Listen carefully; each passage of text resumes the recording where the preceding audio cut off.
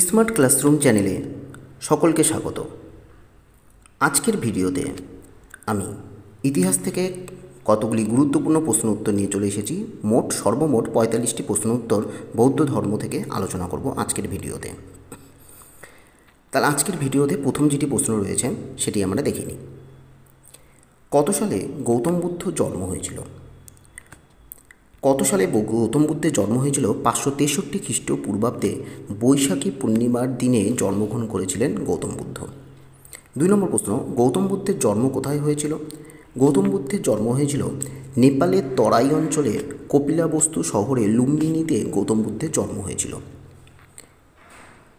এর পরের প্রশ্ন রয়েছে, গৌতম বুদ্ধের মাতা ও পিতা কে ছিল? মাতা, গৌতম বুদ্ধের মাতা ছিল মায়া দেবী যিনি জন্মের সাত দিন পর মারা যান এবং পিতা ছিল শুদ্ধ ধন। এর পরের কোশ্চেন চার নম্বর রয়েছে, গৌতম বুদ্ধের পালিত পিতামাতার নাম কী ছিল? মহা প্রজাপতি গৌতমী। তাহলে মহা প্রজাপতি গৌতমী ছিল গৌতম বুদ্ধের পালিত মাতা। ছয় নম্বর কোশ্চেন গৌতম বুদ্ধের স্ত্রীর নাম কী ছিল? গৌতম বুদ্ধের স্ত্রী ছিল যশোধরা। এরপরে যে কোশ্চেন রয়েছে সাত নম্বর, গৌতম বুদ্ধের ছেলের নাম কি? গৌতম বুদ্ধের ছেলে হচ্ছে রাহুল। আট নম্বর কোশ্চেন গৌতম বুদ্ধের ঘোড়া কোনটি? গৌতম বুদ্ধের ঘোড়াকে বলা হয় কণ্ঠক। কণ্ঠক ছিল গৌতম বুদ্ধের ঘোড়া। নয় নম্বর কোশ্চেন বৌদ্ধ ধর্মের প্রতিষ্ঠাতা কে ছিল? বৌদ্ধ- ধর্মের প্রতিষ্ঠা করেছিল গৌতম বুদ্ধ। বুদ্ধ শব্দের অর্থ কী? বুদ্ধ শব্দের অর্থ হবে অলৌকিক জ্ঞান। এই অলৌকিক জ্ঞান হলো বুদ্ধ। এর পরের কোশ্চেন রয়েছে, বাল্যকালে গৌতম বুদ্ধের নাম কী ছিল? বাল্যকালে মানে শৈশবকালে গৌতম বুদ্ধের নাম ছিল সিদ্ধার্থ। গৌতম বুদ্ধ কত বছর বয়সে গৃহত্যাগ করেছিলেন? মাত্র উনত্রিশ বছর বয়সে তিনি গৃহত্যাগ করেছিলেন। তেরো নম্বর কোশ্চেন কত বছর বয়সে অলৌকিক জ্ঞান প্রাপ্তি হয়েছিল গৌতম বুদ্ধের? মাত্র পঁয়ত্রিশ বছর বয়সে তার অলৌকিক জ্ঞান প্রাপ্তি হয়েছিল।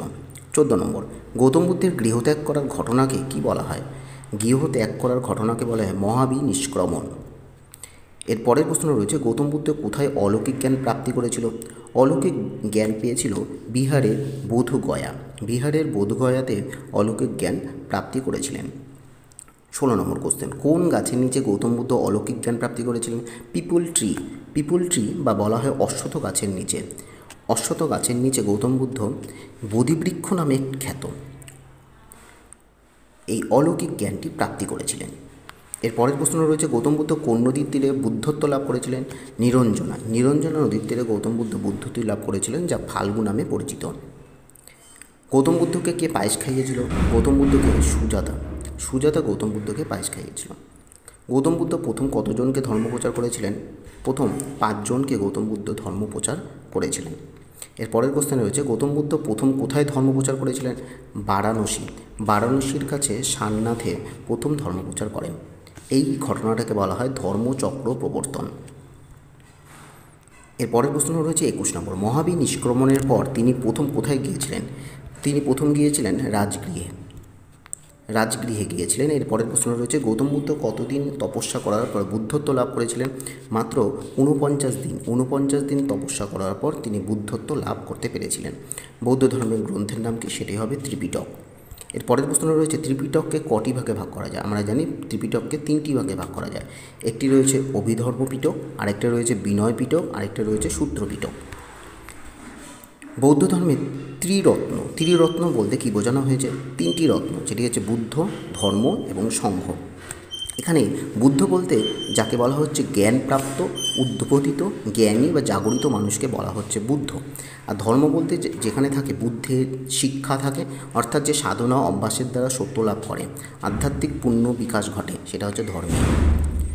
এরপরে রয়েছে সঙ্গ যেখানে পুণ্য জ্ঞান লাভের জন্য ধর্মের সাধনা করা হয়।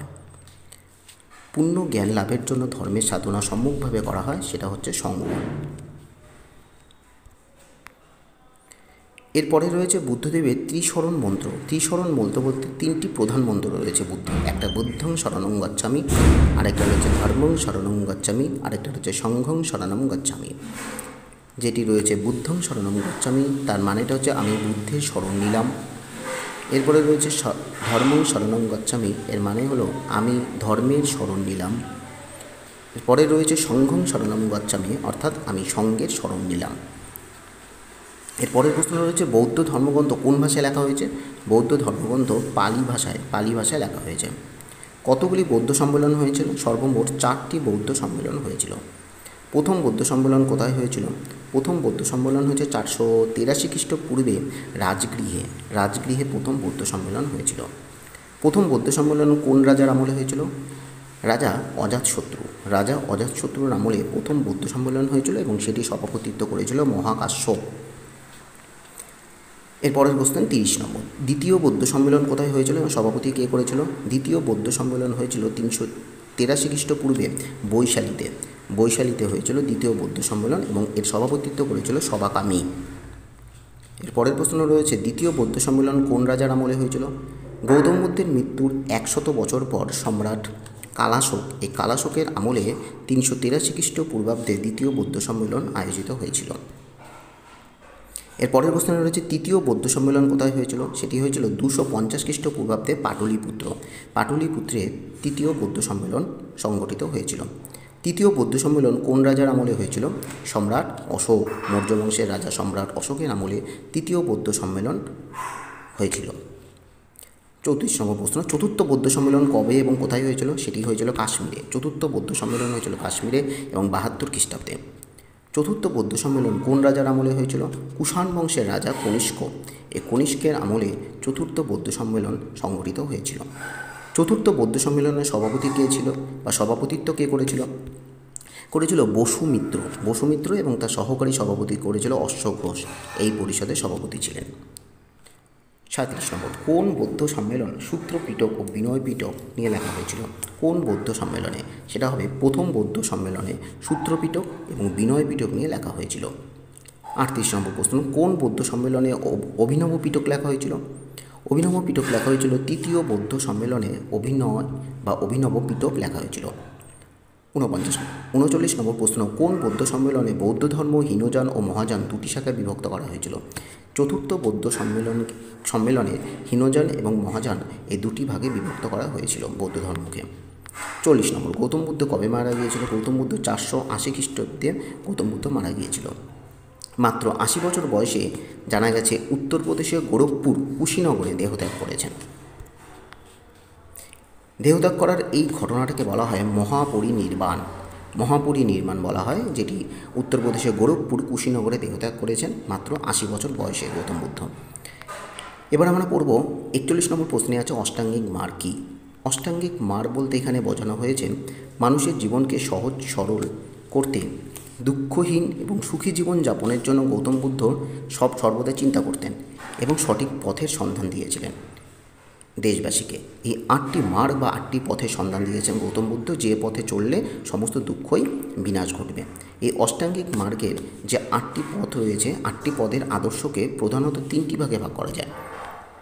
এই তিনটি ভাগগুলির মধ্যে রয়েছে প্রজ্ঞা, শীল এবং সমাধি।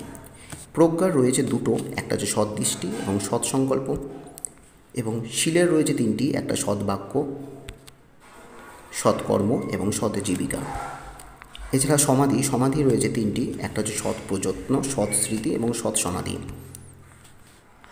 এর পরের প্রশ্ন রয়েছে, পঞ্চশীল বলতে কী বুঝি? পঞ্চশীল হচ্ছে গৌতম বুদ্ধ তার বৌদ্ধ ধর্মে পঞ্চশীল বলতে পাঁচটি এমন কর্মের কথা বলেছেন যেগুলি না করা উচিত বা যেগুলি করা উচিত নয় মানুষের।